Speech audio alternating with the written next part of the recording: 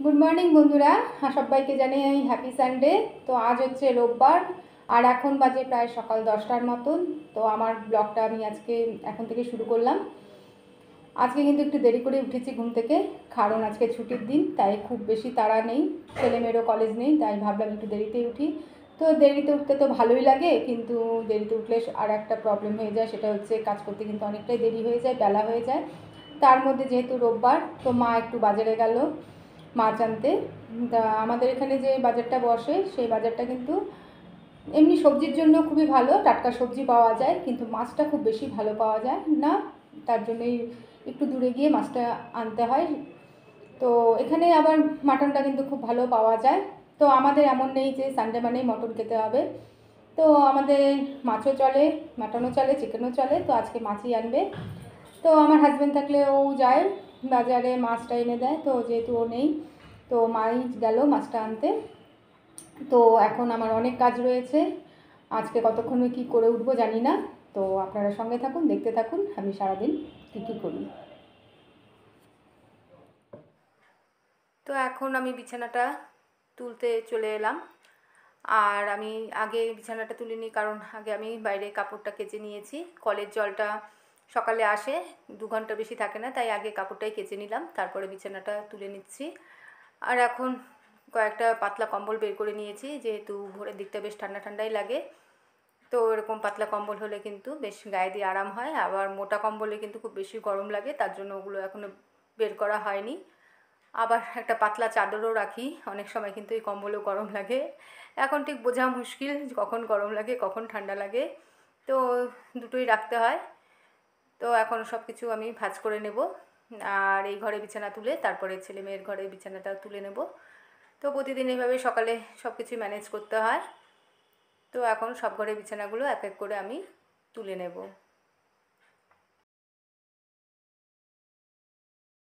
তো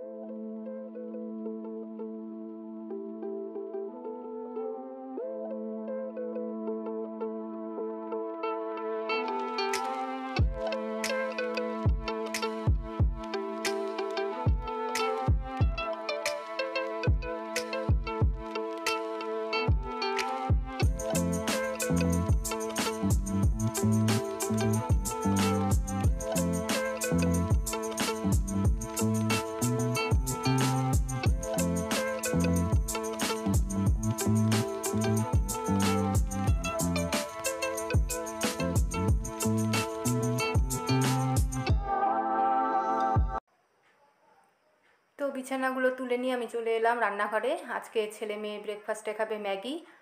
তো প্রতিদিন তো ওরা ভাত খেয়ে, নইলে রুটি খেয়েই যায় কলেজে। তো আজকে বাড়িতে যেহেতু আছে, তো ওরা বলছে যে ম্যাগিই খাব।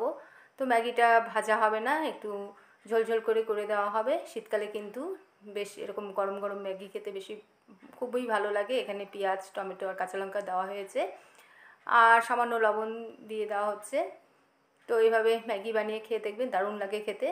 তো পেঁয়াজ, টমেটোটা প্রায় সেদ্ধ হয়ে এসছে। তো অর্ধেক সেদ্ধ হতে এখন ম্যাগিগুলো দিয়ে দেওয়া হচ্ছে।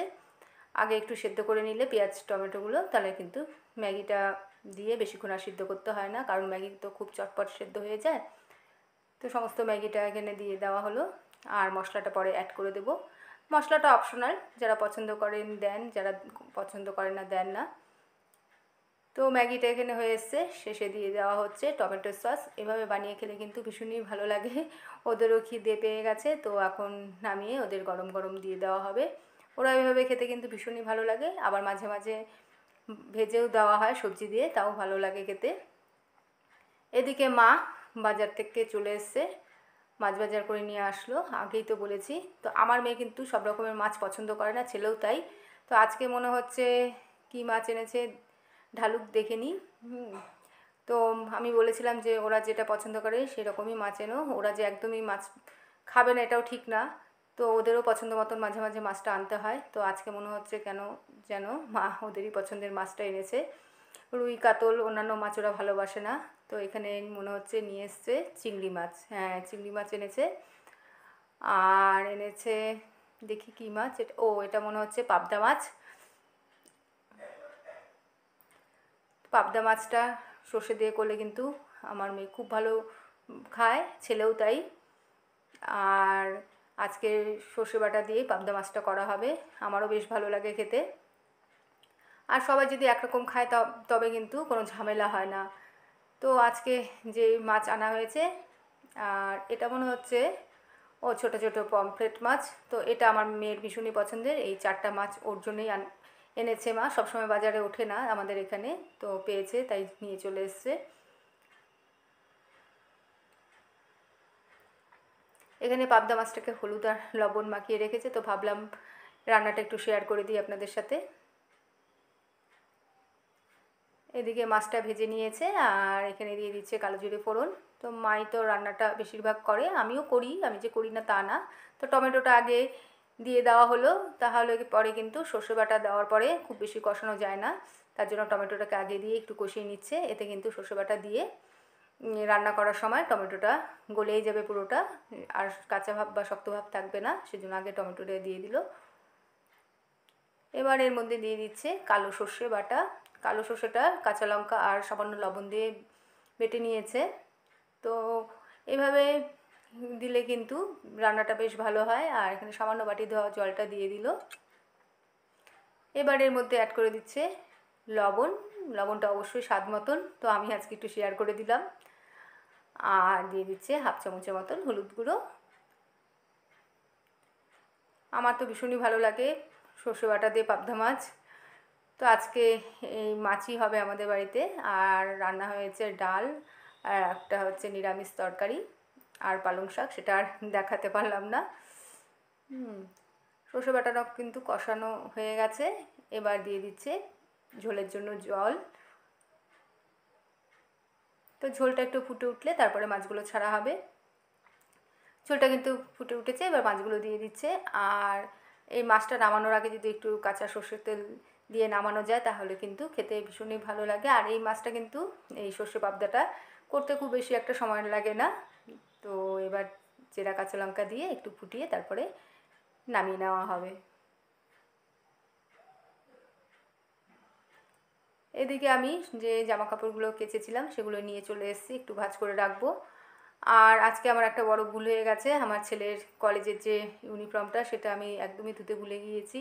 ওটা অন্য অন্য ঘরে ছিল, ও কলেজ থেকে এসেও যেই ঘরে রেখেছিল, তো আমার একদমই খেয়াল ছিল না, যার জন্য আর ধুতে পারিনি। তো সোমবার দিন ওর কলেজ বন্ধ থাকে। ওর কলেজ বন্ধ থাকে না মানে ওর ক্লাস থাকে না। অন্যান্য যে সেকেন্ড ইয়ার বা থার্ড ইয়ার তাদের হয়তো ক্লাসটা থাকে, ও যেহেতু ফার্স্ট ইয়ারে আর ও যার সাবজেক্ট সে অনুসারে তো ক্লাসটা হয়। তো সোমবারে বন্ধ থাকবে, তো কালকেই আমি কেচে দেব। তো এখন চটপট করে আমি জামা কাপড়গুলো ভাজ করে নিই। আর কাজ জমিয়ে রাখলে কিন্তু ভালো লাগে না, পরে নিজেরই কষ্ট হয় কাজ জমে গেলে। তা আমি প্রতিদিনই স্নানের আগে আমি জামা কাপড়গুলো ভাজ করে রাখি, আর আমার স্নানের পরে কিন্তু কোনো কাজ করতে ইচ্ছা করে না, যা করব স্নানের আগেই বেশি করতে ভালো লাগে। তো এখন আমি সমস্ত জামা কাপড়গুলো ভাজ করে রেখে দিই। আর এই জামা কাপড়গুলো ভাজ করে তারপর আমি জল ভরে নেব, খাওয়ার জল, ফিল্টার থেকে। আর এটাও আমার এক প্রতিদিনের কাজ, জল ভরে রাখা। তো এগুলো ভাজ করে আমি জলটা ভরে নেব।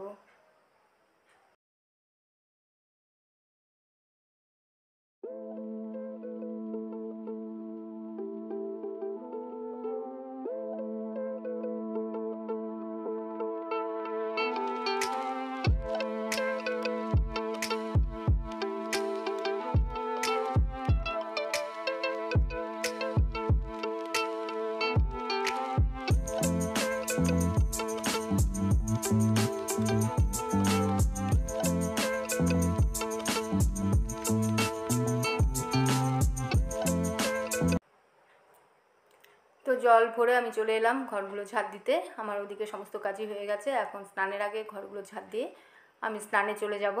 ঘরগুলো আমি প্রতিদিন একটু ভালো করেই ঝাঁট দিই।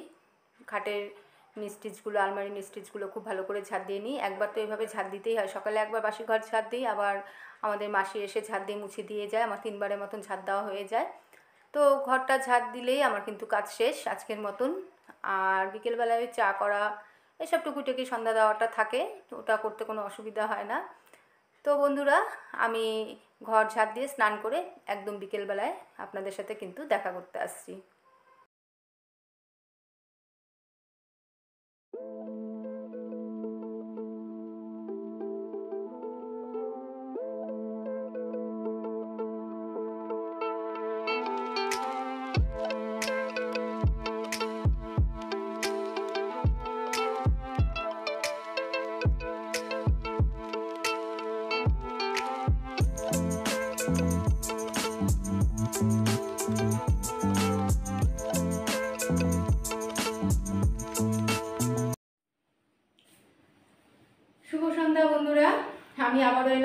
সামনে। তো আমি আপনাদের যে থামেলে দিয়েছি যে আমার বর আমায় কি গিফট দিল, সেটাই দেখানোর জন্য। তেমন কিছুই কিন্তু গিফট দেয়নি, এটা সাধারণই গিফট তো বাজারে গিয়েছিল, আমার জন্য একটা গরম নাইটি নিয়ে এসছে। নাইটিটা আমার ভীষণই পছন্দ হয়েছে, সেজন্য ভাবলাম আপনাদেরকে দেখাই। দেখুন আপনাদের ভালো লাগে কি না আমার তো ভীষণই পছন্দ হয়েছে। এই যে